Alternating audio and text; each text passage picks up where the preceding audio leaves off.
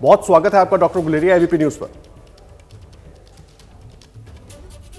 नमस्कार जी नमस्कार। डॉक्टर साहब सबसे पहला सवाल यही है वैक्सीनेशन को लेकर लगातार हम और आप बात करते रहे पहले भी सवाल उठते रहे अभी भी वो सवाल जस के तस है सर। कल वैक्सीनेशन पूरे देश भर में हुआ लाखों लोगों ने टीका लगवाया आपने खुद वैक्सीन लगवाई है। उसके बाद भी सवाल उठ रहे हैं सर। क्यों उठ रहे हैं ये सवाल? और आधार क्या है? ट्रायल को लेकर बार बार बात हो रही है डेटा को लेकर बार बार बात हो रही है। अब आप इस पर थोड़ा रोशनी डालिए सर क्योंकि आम लोग बहुत कंफ्यूज हैं।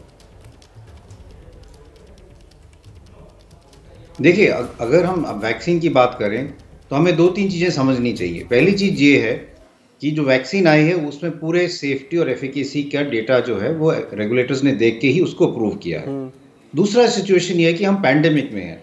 अगर हम नॉन पैंडेमिक सिचुएशन में होते तो हम ये कहते कि हर एक वैक्सीन चाहे वो फाइज़र की हो मोडोना की हो या हमारी सीरम इंस्टीट्यूट की या भारत बायोटेक की हो उसका फॉलो अप छः से नौ महीने होना चाहिए साल भर होना चाहिए। तभी पता चलेगा कि वैक्सीन की एफिकेसी कितनी है आपकी इम्यूनिटी कितने महीने रहती है पैंडमिक हम्म। में हम हमारे पास कोई ऐसा सिचुएशन अलग है हम ऐसी चीज़ें नहीं कर सकते इसलिए डेटा देख के हर एक वैक्सीन को इमरजेंसी यूज़ ऑथराइजेशन दिया गया है क्योंकि डेटा हमेशा अभी इवॉल्व हो रहा होगा लेकिन अगर हमें इस पैंडमिक से बाहर निकलना है अगर हमें लोगों की जान बचानी है अगर चेन ऑफ़ ट्रांसमिशन रोकना है हम्म। अगर हम ये चाहते हैं कि हमारी इकॉनमी वापस आए स्कूल खुले लोग आराम से अपने छुट्टियों पे घूमना शुरू करें।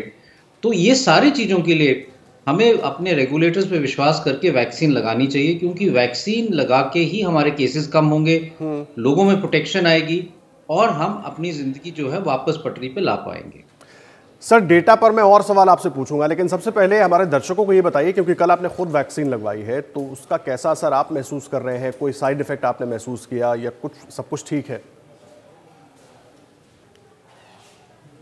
मैं बिल्कुल ठीक हूँ आपके सामने बैठा हूँ मेरे कोई साइड इफ़ेक्ट नहीं है कोई बुखार नहीं है इंजेक्शन साइड पे कोई दर्द भी नहीं है हम्म। और ना और कोई हरारत है और मैं सब लोगों को यही विश्वास दिलाना चाहता हूँ कि आप बिना बेहिचक और बिना घबराए वैक्सीन लगाने आए कोई ऐसे घबराने की बात नहीं और पूरा वहाँ पे अरेंजमेंट है कि अगर आपको कोई घबराहट हो या कुछ हो तो वहाँ पे डॉक्टर भी मज़बूत प्रेजेंट हैं और पूरा आपका जो है मॉनिटरिंग की जाएगी इसलिए घबराए नहीं सर देश में दो वैक्सीन हैं कोविशील्ड कोवैक्सीन आपने कौन सी वैक्सीन लगवाई है? मैंने जो भारत बायोटेक की जो हमारी खुद बनी हुई वैक्सीन है कोवैक्सीन हम्म। उसको मैंने कल लगाया था। जी और कोवैक्सीन पर अभी भी सवाल उठ रहे हैं सर। थर्ड फ़ेज़ के डेटा के ट्रायल को लेकर कहा यह जा रहा है कि जो वैक्सीनेशन अब हो रहा है उसके आधार पर डेटा जुटाया जाएगा। बार बार इस तरह के सवाल उठाए जा रहे हैं। तो अगर हम कोवैक्सीन की बात करें कोवैक्सीन का अगर हम डेटा देखें और कोवैक्सीन का डेटा हमारे पास एनिमल स्टडीज़ का है जो छोटे एनिमल्स में और मंकीज़ में भी हुआ है phase one phase two trial का डेटा है। हम्म। और फ़ेज़ टू और फ़ेज़ थ्री ट्रायल तो हमारे ही अपने इंस्टीट्यूट में हुई है। हमारे कई डॉक्टरों ने इसमें पार्टिसिपेट किया है कई हेल्थ केयर वर्कर्स ने पार्टिसिपेट किया है। किसी को कोई साइड इफ़ेक्ट नहीं हुआ। और सब में जब एंटीबॉडीज़ देखी गई तो अच्छी एंटीबॉडी टाइटर था उसमें। तो इस बेसिस पे हम हमारे काफ़ी लोगों को ये विश्वास है कि ये वैक्सीन जो है ये कामयाब है और इसका असरदार रहेगी लेकिन आपकी बात ये सही है कि अभी हमें फ़ेज़ थ्री डेट डेटा के लिए और डेटा चाहिए फ़ेज़ थ्री डेटा आने में कुछ हफ़्ते लगेंगे हम्म। लेकिन हम हमारे कंट्री का अभी जो सिचुएशन हम देखें हम एक बहुत अच्छी सिचुएशन पे हैं हम्म। हमारे केसेस कम हो रहे हैं हम्म। हमारे केस फर्टिलिटी कम है लेकिन उसी के साथ साथ अगर हम दुनिया की बात करें यूरोप की बात करें यूके की बात करें अमेरिका की बात करें वहाँ पे केसेस एकदम बढ़ रहे हैं। पचास से साठ हज़ार केसेस यूके में रोज आ रहे हैं। छोटा वो तो एक छोटा देश है। हम्म। उसमें साठ हज़ार केसेस रोज आना एक बहुत बड़े माने रखता है। तो इसलिए बहुत ज़रूरी है कि हम इस अच्छी स्थिति को को, को हम लूज़ ना करें। हम्म। ऐसा ना हो कि हम वैक्सीन का डेटा ही वेट करते रहें और हमारे केसेस एकदम बढ़ जाएँ। और जो वैक्सीन के हमें लगाने का एक विंडो ऑफ़ अपॉर्चुनिटी था उसको हम खो दें। हम्म। क्योंकि वैक्सीन के दो शॉट लगने दो शॉट के दो हफ़्ते बाद हमें अच्छी इम्यूनिटी मिलेगी। इसलिए अगर हम आज वैक्सीन लगाएँगे तो ऑलमोस्ट छः हफ़्ते बाद हम ये कह सकते हैं कि अब इन लोगों को प्रोटेक्शन मिल गया है। तो अगर हम जितना डिले करेंगे उतना ही ये आगे डिले हो जाएगा और अगर हमारे देश में म्यूटेंट स्टेट या और कोई वायरस ये वायरस और चेंज होके एकदम फैलना शुरू कर देगा तो ये अपॉर्चुनिटी हम खो बैठेंगे। बहुत अहम बात आप कह रहे हैं सर। एफिकेसी को लेकर सवाल बरकरार है कि एफिकेसी वैक्सीन की कितनी है वो चाहे मॉडर्ना हो फाइजर की वैक्सीन हो उसकी एफिकेसी की एक बात है भारत में कोविशील्ड को वैक्सीन को लेकर। लेकिन बार बार हमारी जो साइंटिस्ट फ्रिटर्निटी है वो विश्वास जताती रही कि एफिकेसी को लेकर कोई सवाल नहीं सब कुछ परफेक्टली ओके फिर इस तरह के सवालों का मतलब क्या है और पब्लिक को कैसे समझाएँगे सर? मैं तो यही कहूँगा कि आप अपने साइंटिस्ट अपने रिसर्चर्स और अपने रेगुलेटर्स पे विश्वास कीजिए। जो ये इन्फोडेमिक है या सोशल मीडिया में जो ये न्यूज़ डराने वाली न्यूज़ फैल रही है हम्म। इस पे ना जाएँ। अच्छे जो ऑथेंटिक साइट्स हैं चाहे वो डब्ल्यू एच ओ के हो चाहे मिनिस्ट्री की हो चाहे एक्सपर्ट्स की हो उस पर जाके पूरा आप अपनी तरफ़ से अपने आप को सेटिस्फाई करें। आपको तब भी कोई डाउट हो तो एक्सपर्ट से आप बात करके अपने पूरी डाउट्स को हटाएँ। लेकिन वैक्सीन जो है, एक यही एक माध्यम है जिससे हम आगे बढ़ पाएँगे। कोविड 19 के लिए अभी हमारे पास कोई गुड एंटीवायरल ड्रग नहीं है। हम जो भी दवाई यूज़ करते हैं, वो अगर हम डेटा देखें, उसमें एफिकेसी है ही नहीं। हम रेमडेसिविर की बात करते हैं, हम प्लाज्मा की बात करते हैं, फिर डेट स्टडी आ जाती है कि इसमें कोई काम नहीं है, ये काम इतना नहीं कर रही। लेकिन हम इन सबको तब भी दे रहे हैं। एमरजेंसी यूज़ अथोराइजेशन प्लाज्मा को भी मिला हुआ है रेमडेसिविर को भी मिला हुआ है। इसी तरह से अगर हम वैक्सीन को भी देखेंगे तो वैक्सीन का डेटा तो इन इन इन दवाइयों से बहुत स्ट्रांग है। हम्म। इसलिए हमें आगे बढ़ना चाहिए और हमें अपने आप को अपने देश को पैंडमिक से बाहर निकालना चाहिए। और अगर हमें ये करना है तो सबको आगे आके वैक्सीन लगाने लगानी चाहिए। तभी हम चेन ऑफ़ ट्रांसमिशन को रोक पाएँगे लोगों को प्रोटेक्ट कर पाएँगे। सर मुझे एक बात बताइए टीका लगाने वालों में कुछ लोगों में माइनर से जो सिम्टम्स नज़र आ रहे हैं एम्स के भी एक जिन वर्कर को लगाया गया वैक्सीन उनको भी बाद में हॉस्पिटल में एडमिट कराना पड़ा। कुछ उनमें भी साइड इफेक्ट्स नज़र आए तो उसको लेकर आप क्या कहेंगे? तो ज़्यादातर लोगों में जो साइड इफेक्ट्स हैं माइनर ही होते हैं। हम्म। वैसे तो साइड इफेक्ट्स बहुत कम लोगों में है। मैं आपके सामने मुझे तो कोई साइड इफ़ेक्ट नहीं है पर कुछ लोगों को एक दो दिन के लिए बुखार हो सकता है जहाँ टीका लगा है वहाँ पे थोड़ी सी दर्द हो सकती है या शरीर में बॉडी एक्स हो सकती है हरारत सी हो सकती है वो एक दो दिन में ठीक हो जाती है। एक बहुत माइनॉरिटी ग्रुप है जिनको पहले से कोई एलर्जिक टेंडेंसी हो उनमें एक एलर्जिक रिएक्शन हो सकता है क्योंकि टीका जो है एक फॉरेन बॉडी टाइप का है। तो उन लोगों को हम आधे घंटे के लिए ऑब्ज़र्व करते हैं और जो जैसे आपने कहा कि कल हमारे जो आ, आ, एक सिक्योरिटी गार्ड था उसको जब टीका लगा और वो लास्ट फ़ेज़ में लगा था क्योंकि आ, वो आखिर में उसकी बारी आई थी हम्म। तो उसको पंद्रह बीस मिनट के बाद थोड़ा सा एलर्जिक रिएक्शन होने लगा। थोड़ा घबराहट हुई सिर में दर्द हुई और स्किन में रैश आ गया जैसे एलर्जिक अर्टिक एरिया होता है। हम्म। तो उसको उसका एकदम इलाज किया गया लेकिन वो और उससे वो ठीक भी हो गया। हम्म। लेकिन हमने ये सोचा कि क्योंकि वो बेहतर रहेगा हमारा ही एक वर्कर है और हम उसका पूरा ध्यान रखें तो ओवरनाइट हमने उसको अपने हॉस्पिटल में एडमिट कर लिया ऑब्जर्वेशन के लिए। अब वो ठीक है और हम यही प्लान कर रहे हैं कि कुछ देर में उसको हम घर भेज देंगे। उसकी एलर्जिक जो टीका से हुई थी वो अब ठीक हो गई है दवाई से उसका पूरा वो अपने अपने आप खुद खा रहा है बैठा हुआ है आराम से हम्म। और कुछ देर में उसको घर भेज देंगे। सर ये मैं समझना चाहूँगा आपने भी कोवैक्सीन का टीका लिया था और जिन शख्स की हम बात कर रहे हैं उनको भी कोवैक्सीन का टीका दिया था दिया गया था लेकिन असर दोनों पर अलग अलग है सर।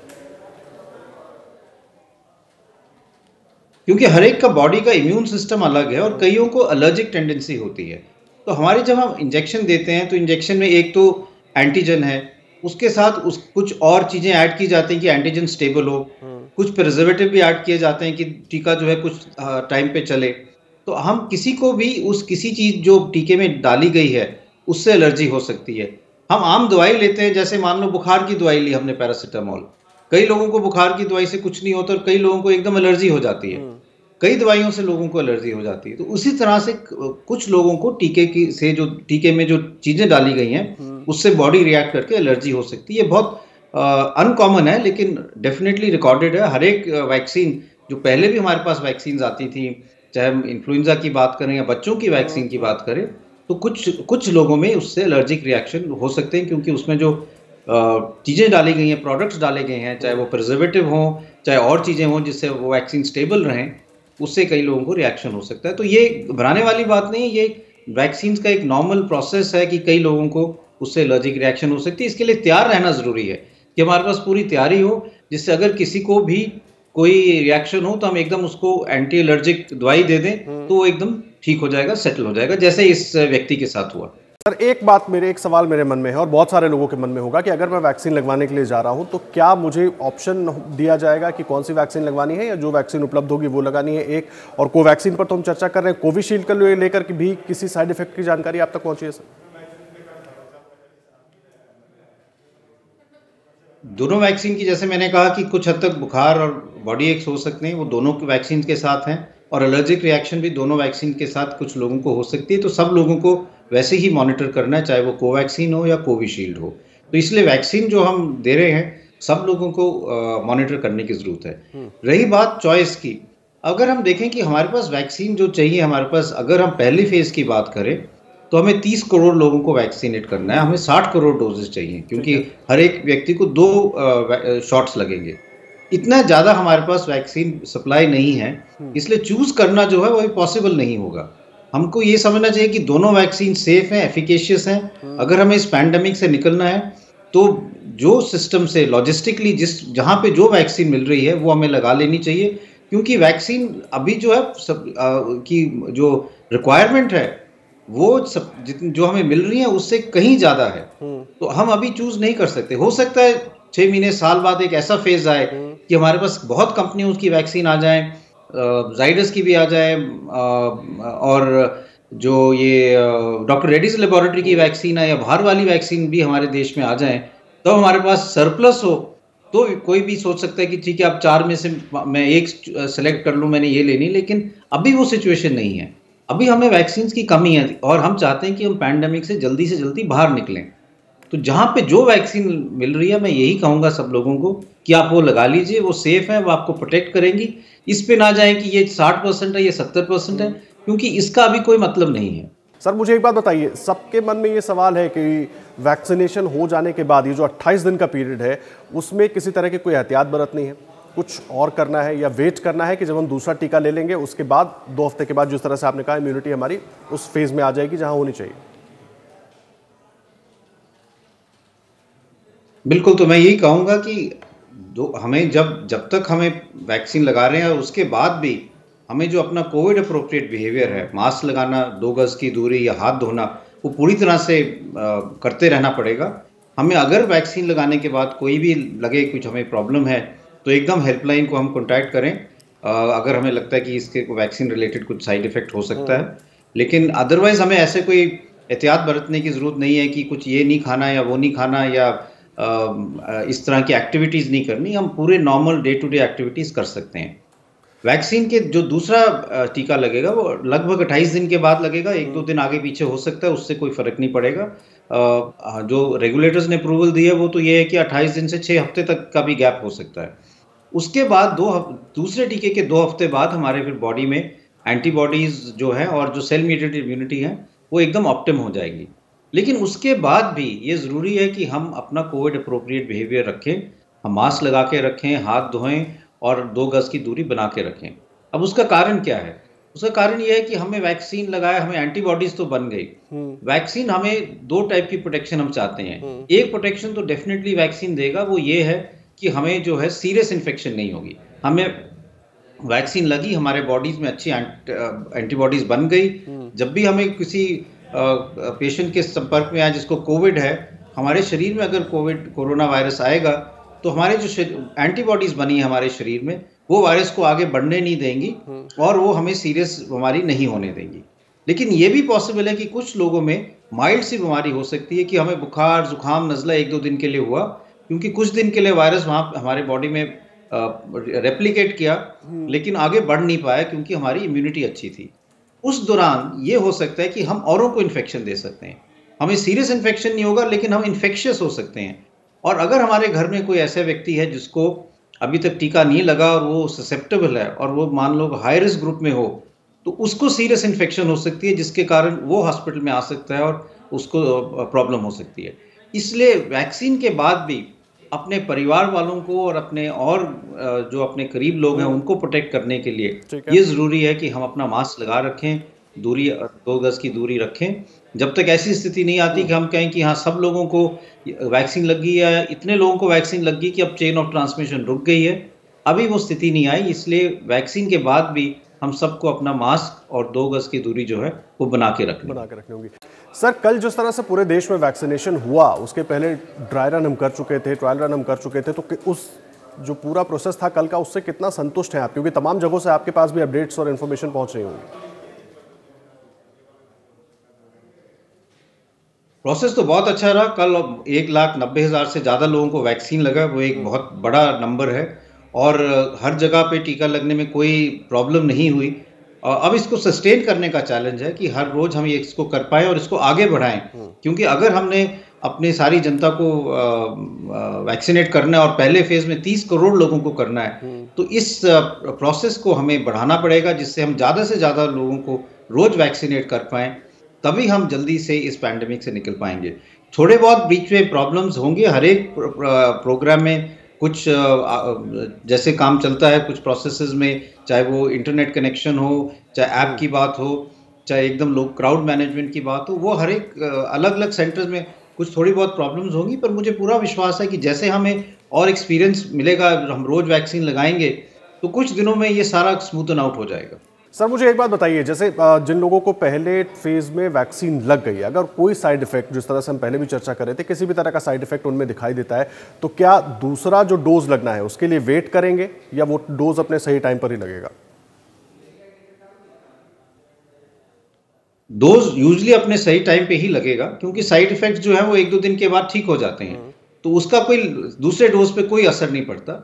इसलिए आपको जो भी थोड़े साइड इफ़ेक्ट होंगे उससे घबराए नहीं। आपके जो दूसरे डोज की डेट है हम्म। वो उस हिसाब से चेंज नहीं होगी। आपको वो उसी टाइम आके अपना दूसरा डोज भी लगा लेना चाहिए। जी बहुत अहम बात आप कह रहे हैं। सर मुझे एक बात और बताइए। एक लाख नब्बे हज़ार लोगों का कल वैक्सीनेशन हुआ जिस तरह से आपने खुद बताया। हम उम्मीद कर रहे थे कि करीब तीन लाख लोगों का वैक्सीनेशन होगा। तो ये जो हम कमी देख रहे हैं ये क्या टेक्निकल इश्यूज़ है या अभी इसको और गति देनी पड़ेगी? हमको अपने लॉजिस्टिक्स को और मज़बूत करना पड़ेगा। तो उसके कई कारण हैं। एक जैसे हमने शुरू में ही कहा कि कुछ लोग हेजिटेंट थे। पहली दफ़ा है वो ये सोच रहे थे कि कुछ लोग लगा लें उसके बाद ही हम वैक्सीन लगाएँगे। थोड़ा उनको रीअश्योरेंस हो जाए। तो मुझे ये लगता है कि अब जो लोगों को ये रीश्योरेंस हो, हो जाना चाहिए कि अब लोग वैक्सीन लगा रहे हैं तो वो भी आगे आए। दूसरा कुछ लॉजिस्टिक इश्यूज़ भी हो सकते हैं क्योंकि पहले दिन वो ऐप यूज़ हुआ कई लोगों को उसका पूरा इन्फॉर्मेशन नहीं मिली या पूरी तरह से उसको समझ नहीं पाए। तो आस्ता आस्ता ये जो चीज़ें ये ठीक हो जाएँगी। और मेरा ये मानना है कि अगले कुछ दिनों में इसका नंबर जो है वो आस्ता आस्ता बढ़ेगा जी। और हम जो है अपने टारगेट को अचीव कर पाएँगे। शुरू में एक दो दिन में तो कुछ प्रॉब्लम्स हर एक प्रोग्राम में की रहती हैं तो ये सॉर्ट आउट हो जाएँगी। डॉक्टर गुलेरिया मुझे एक बात बताइए जैसे मान लीजिए कि मुझे वैक्सीनेशन करवाना है मुझे टीका लगवाना है लेकिन किसी वजह से मैं मिस कर जाता हूँ नहीं पहुँच पाता हूँ तो उसके बाद अगर मुझे उसमें रजिस्टर्ड होना है और फिर से टीका लगवाने के पूरे प्रोसेस को करना है तो वो कैसे होगा सर? तो अगर आप किसी कारणवश टीका वाले साइट पे नहीं पहुँच पाते मान लो कुछ प्रॉब्लम हो जाए तो वो आप अपना जो ऐप है उस पर रजिस्टर कर सकते हो कि आप नहीं पहुँच पाए आपका ये टाइम था। तो आपको ऐप में फिर से एक नई डेट दी जाएगी और आप उस दिन पे फिर आके टीका लगा सकते हैं। तो नॉर्मली वो कैरी ओवर हो जाता है और फिर अगले कुछ दिनों में आपको फिर से उसकी डेट मिल जाती है। उसका भी ऐप में अरेंजमेंट है कि अगर कोई किसी कारणवश उस दिन टीका नहीं लगा पाया तो वो फिर उसको अलग डेट मिल जाएगी। अगर कोई एकदम टीका रिफ्यूज कर देता है कि मैं टीका नहीं लगाना चाहता हूँ फिर उसका नाम जो है वो लिस्ट से हटाया जाता है। ओके। दोनों बातें आपने समझाई। डॉक्टर साहब, बहुत अहम जानकारी है। बहुत धन्यवाद आपका हमारे साथ जुड़ने के लिए, डॉक्टर गुलेरिया, और तमाम सवालों के जवाब देने के लिए।